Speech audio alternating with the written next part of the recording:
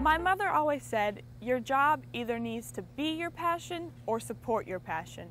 Growing up, my favorite things was working in our family garden, planting flowers around the house, and taking care of our many houseplants.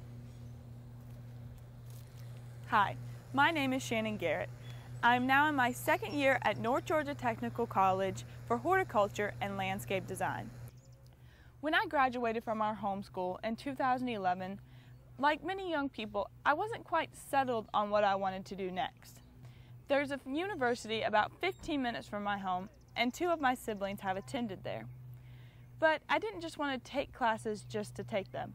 I wanted to really study and learn the information I needed to be successful at a career I would enjoy the most.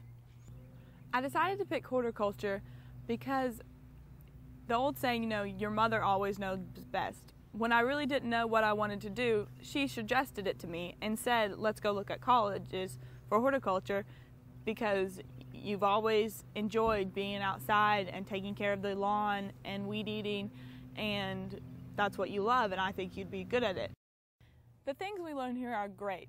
Going out to the greenhouse and doing some real hands on work is really important when you go out into the work field.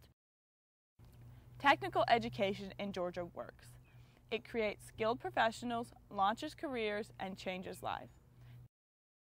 Thank you, Technical Education System of Georgia, for making dreams a reality for professionals all over our great state.